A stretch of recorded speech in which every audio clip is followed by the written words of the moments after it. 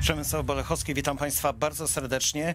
Już praktycznie rok zmagamy się z pandemią, a dzisiaj porozmawiamy o tych, którzy są na pierwszej linii frontu, ale o dość niecodziennej, e, nie chciałbym powiedzieć przemilczanej strony, to znaczy o placówkach służby zdrowia, o służbie zdrowia i o tym, jak są finansowani w czasie pandemii. Moim Państwa gościem jest e, Marek Wierzba, radny wojewódzki województwa małopolskiego, przewodniczący Komisji Ochrony Zdrowia i jednocześnie dyrektor Nowotarskiego Szpitala Podhalańskiego Specjalistycznego imienia Jana Pawła II w Nowym Targu. Witam bardzo serdecznie. Dzień dobry Państwu. Panie dyrektorze, bardzo dużo mówi się na temat służby zdrowia. Wiadomo, jaką rolę odgrywa w walce z koronawirusem. Proszę powiedzieć tymczasem, jak wygląda zeszły rok od strony finansowej, jeżeli chodzi właśnie o szpitale, które e, mają oddziały covidowe, które leczą pacjentów covidowych. E, Czy to finansowanie jest rzeczywiście wystarczające? Czy to nie jest tak, że być może, no, e, jeżeli się jest covidową placówką, to się ponosi straty? Szanowni Państwo, to jest dość e, złożone zagadnienie. E, Natomiast e, pokrótce charakteryzując sytuację, funkcjonowanie w warunkach pandemii, hospitali- hospitalizowanie pacjentów i mm, z, z wirusem, jak i pacjentów innych wymagających interwencji w innych ich schorzeniach, no niestety w warunkach pandemii kosztuje znacznie, znacznie więcej. E, Nowotarski, przyku- Nowotarski szpital e, jako przykład tutaj mógłby pewnie służyć, bo w większości placówek w Polsce pewnie taka sytuacja też ma miejsce. E, Generalnie rzecz biorąc, przychody e, za ubiegły rok e, są bardzo podobne, pomimo faktu, że nie zrealizowaliśmy e, tych procedur, nie przyjęliśmy tych pacjentów, którzy w trybie e, planowym i w trybie e, też ostrym zwyczajowo są przyjmowani. E, W to, w, w, w to miejsce, czy powiedzmy też w zamian przyjmowali byli, przyjmowani byli pacjenci covidowi. Natomiast koszty funkcjonowania są niestety o wiele, wiele wyższe. E, Dzisiaj e, moje służby finansowo-księgowe przygotowywały mi taką pokrótce informację, którą w najbliższym czasie będę składał zarządowi powiatu. E, W nowotarskich warunkach, gdzie roczny plan finansowy to jest około e, 165 milionów złotych, koszty związane tylko dodatkowe ze stosowaniem środków ochrony osobistej, środków dezynfekcyjnych, e, różnego rodzaju e, montażu różnego, różnego rodzaju zabezpieczeń i urządzeń, m, które tutaj e, służyły czy służą i pomiarowi temperatury i, i służą temu, aby pacjenci zachowywali odpowiedni dystans, etc., etc. To jest około 5 milionów złotych. Do tego należy dodać jeszcze ogromne koszty związane z utylizacją odpadów szpitalnych. E, Wspomnę, że w warunkach pandemii wszystkie odpady, chociażby związane z, z żywieniem pacjentów, odpady, e, które zwyczajowo są odpadami komunalnymi, no w, w takich warunkach muszą być utylizowane jako odpady e, odpady szpitalne, a utylizacja ich znacznie, znacznie, znacznie, znacznie więcej kosztuje. Reasumując, reasumując hospitalizacja pacjentów, czy ogólnie rzecz biorąc funkcjonowanie szpitala y, w warunkach pandemii y, jest dużo droższe, dużo więcej kosztuje niż funkcjonowanie w normalnych warunkach. Tego y, płatnik za bardzo nie wziął pod uwagę. Stąd w większości szpitali ten wynik finansowy będzie znacznie gorszy. Na pewno w przypadku Nowotarskiego Szpitala po raz pierwszy od 7 lat wynik finansowy za rok działalności będzie ujemny. Panie dyrektorze, to skąd w takim razie wzięła się opinia, że bardzo opłaca się mieć pacjentów covidowych, bo to są świetne pieniądze. Często w tych takich e, rozmowach kuluarowych dodaje się nawet, że przypina się łatkę pacjentów zwykłych do tego, żeby szpital trochę więcej zrobił. Tymczasem z pana ust wynika jednoznacznie, że tak naprawdę e, pieniądze są te same, tymczasem wydajecie państwo ogromne środki na środki ochrony osobistej między innymi, na budowę śluz i tak dalej. i te środki nie są refundowane, prawda? Więc tutaj patrząc na to z punktu widzenia managementu, pan jako menadżer e, mógłby powiedzieć, że nie opłaca się panu leczyć pacjentów covidowych, gdyby miał oczywiście pan wybór i tego typu decyzje były możliwe. No zdecydowanie tak. E, Natomiast e, zdajemy sobie sprawę jako dyrektorzy szpitali, że mm, no, istotą naszej działalności nie jest wyłącznie wynik finansowy. Istotą naszej działalności jest e, odpowiadanie na wymogi takie, jakie w danym, w danym czasie obowiązują i wymogi, które biorą się i z rzeczywistego zapotrzebowania pacjentów, ale biorą się też z decyzji na przykład w tym wypadku wojewody małopolskiego, który swoimi decyzjami e, no, odpowiednio regulował ilość łóżek dedykowanych wyłącznie dla hospitalizacji pacjentów e, covidowych. Natomiast odpowiadając panu redaktorowi i wyjaśniając przy okazji państwu, e, skąd się takie opinie biorą, trzeba zwrócić uwagę, że hospitalizowanie pacjentów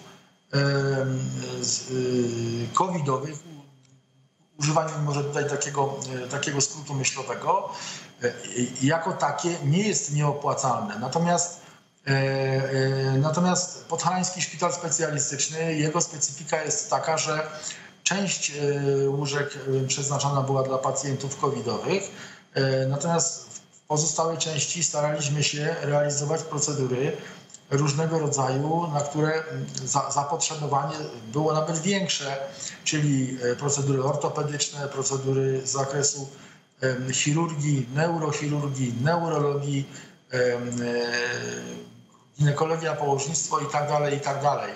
Niestety w warunkach pandemii stosowanie środków ochrony osobistej, e, stosowanie większej ilości e, i innych też środków dezynfekcyjnych, środków utrzymania czystości musi mieć miejsce wszędzie, nie tylko w odniesieniu do tych części szpitala czy tych oddziałów, gdzie są hospitalizowani pacjenci covidowi. Stąd mówiąc e, ogólnie, szpitale, które były e, szpitalami jednoimiennymi, e, bardzo często e, w sensie finansowym nieźle na takiej operacji e, wyszły, mówiąc kolokwialnie. Natomiast szpitale wielospecjalistyczne, szpitale duże, gdzie trudno było wydzielić na przykład, e, tak jak w przypadku Nowodarskiego Szpitala, jakąś część obiektu wyłącznie dla pacjentów e, covidowych.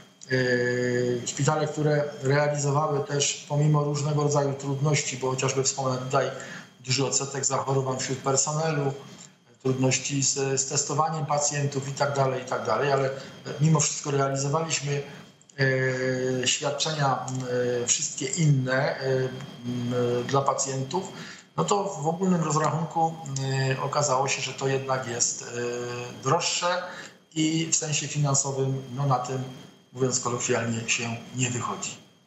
Panie dyrektorze, normalną konsekwencją tego, co się działo w roku 2020 jest to, że przez sporą część czasu nie odbywały się planowe zabiegi, operacje. E, i teraz to wszystko, no właśnie, trzeba nadrobić, damy radę nadrobić, jeżeli chodzi o rok 2021, że po prostu siłą rzeczy ta kolejka pacjentów, która czeka na przykład, tak jak mówił pan dyrektor, na zabiegi ortopedyczne e, czy zabiegi z chirurgii miękkiej, e, zostaną po prostu przesunięte, bo nie da się przy pomocy posiadanej kadry szpitalnej, no zamiast, nie wiem, czterech operacji robić ich w ciągu dnia sześć. Um, Rzeczywiście, mówiąc o nadrobieniu, musimy tutaj e, rozgraniczyć jakby e, e, dwa konteksty tego, tego, tego sformułowania. Nadrobienie w sensie takim, że są pacjenci, którzy oczekują na to, żeby im zoperować nie wiem, endoprotezę, czy, czy y, zrobić czy cokolwiek innego, to, to staramy się robić.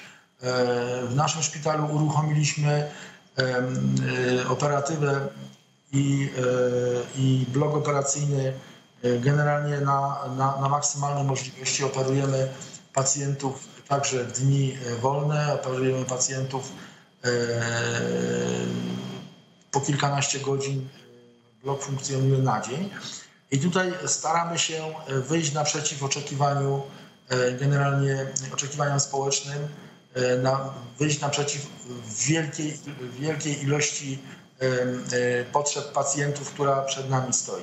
Natomiast mówimy też o pewnym o nadrobieniu czegoś, co z powodu izolacji, z powodu COVID-a, z powodu choroby, choroby personelu nie zrealizowaliśmy w roku 2020, czyli tak zwany ryczałt.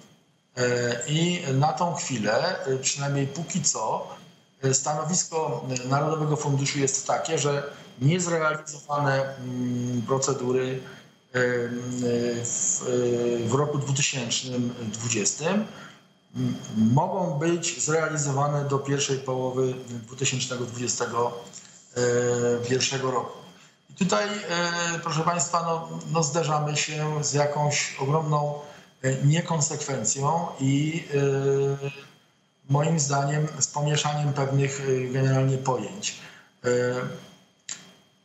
Pomimo faktu, że nie realizowaliśmy w takiej ilości przyjęć pacjentów,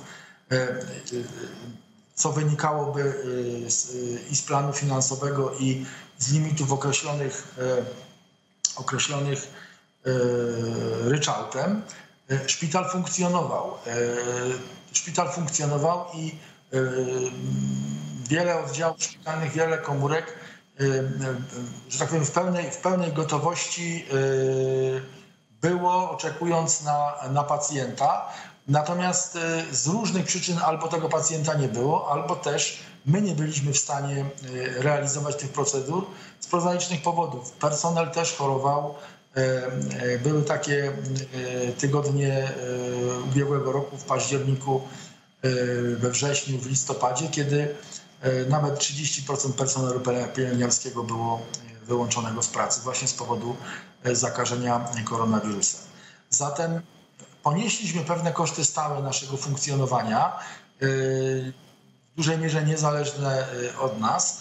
I teraz stajemy przed taką sytuacją, że pomimo poniesienia tych kosztów, no, powinniśmy realizować procedury w roku przyszłym, niezrealizowane w roku minionym.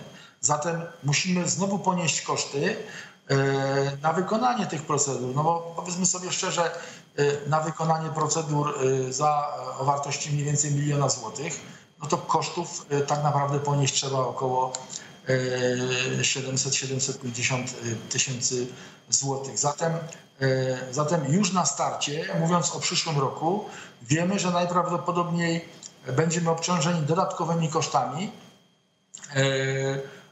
w przeciwnym razie Narodowy, Narodowy Fundusz Zdrowia, mówiąc brzydko, obetnie nam finansowanie o wartość niezrealizowanego ryczałtu. I to jest, to jest problem numer jeden. Problem numer dwa jest taki, że są pewne procedury, są pewne świadczenia, których się najzwyczajniej nie da po prostu nadrobić. Jeżeli weźmiemy pod uwagę charakterystykę na przykład pacjenta psychiatrycznego, charakterystykę każdego pacjenta, który jest przyjmowany w tak zwanym trybie ostrym, no tutaj nie jesteśmy w stanie nadrobić niezrealizowanych procedur w roku 2020 z przyczyn oczywistych. Zatem reasumując, to jest, to jest moje oczekiwanie, ale to jest oczekiwanie w zasadzie większości dyrektorów czy dyrekcji szpitali w Polsce, aby Narodowy Fundusz Zdrowia zrewidował swoje podejście do tego zagadnienia i znalazł takie rozwiązanie, które będzie jakimś kompromisem pomiędzy tym, co proponowane jest teraz, a tym, jakie są oczekiwania ze strony i dyrekcji szpitali, ale również w tym wypadku mówimy o szpitalu powiatowym, więc również zarządu powiatu, który jest właścicielem E, szpitala w sensie jego majątku i jest organem założycielskim dla tej jednostki. Panie dyrektorze, to na zakończenie naszej rozmowy pytanie jeszcze o projekt, który się gdzieś pojawił. Teraz na jego temat ucichło, ale we, przynajmniej we mnie wzbudził ogromne kontrowersje. To znaczy, żeby szpitale przejmować i stały się one rządowe. Jak pan jako dyrektor i w ogóle jak dyrektorzy patrzą na ten problem? Tak bardzo krótko w paru zdaniach. Panie redaktorze, szanowni państwo, Y, za małą mam wiedzę o tym y, pomyśle, o tej koncepcji, żeby dokonywać jakiejkolwiek jej oceny, jakiejkolwiek oceny tej decyzji czy tego pomysłu. Y, ja z uwagą śledzę doniesienia i prasowe, i, wszelkie inne dostępne w tym temacie, bo jestem bardzo ciekaw, że tak powiem, czego czego te propozycje będą dotyczyły. Bardzo dziękuję. Przypomnę, moim i Państwa gościem był Marek Wierzba, radny wojewódzki województwa małopolskiego, dyrektor podhalańskiego Szpitala Specjalistycznego imienia Jana Pawła II w Nowym Targu i przewodniczący Komisji Ochrony Zdrowia, jeżeli chodzi o Urząd Marszałkowski w Krakowie. Bardzo dziękuję. Dziękuję bardzo.